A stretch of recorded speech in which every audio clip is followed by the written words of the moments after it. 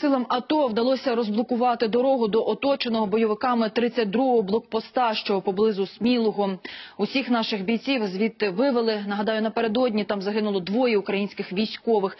Терористи продовжують обстрілювати й інші позиції силовиків, а також намагаються поновити свої лави. Більше дивіться у наступному матеріалі.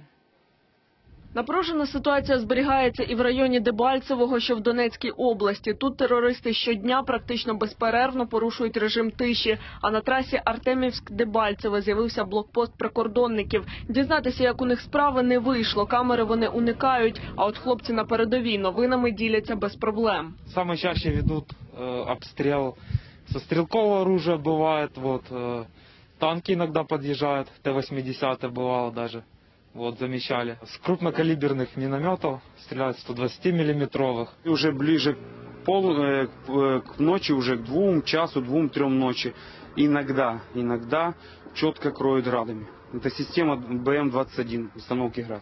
Тим часом ряди бойовиків рідшають, тому терористи фактично примушують місцевих хлопців і чоловіків записуватися до лав так званого ополчення. Кампанію проводять на блокпостах. Перегрупування своїх сил терористи здійснюють і в районі Донецького аеропорту. Анонсований ними наступ напередодні так і не відбувся. При цьому жителі Донецька повідомляють, що бойовики займають квартири багатоповерхівок, розташованих ближче до литовища, і облаштовують там вогневі позиції. І сам аеропорт, і позиції підконтрольні силам АТО терористи кілька разів обстрілювали, але на штурм не йшли. Перегрупування відбувається в рамках е, тих процесів, які визначені ватажками цих бандитських формувань. Але ще раз ще раз підкреслюю, е, ми ці процеси моніторимо, відслідкуємо та готові діяти відповідно до тих загроз, які можуть виникати в рамках е, протидії е, діям підконтрольних збройних формувань.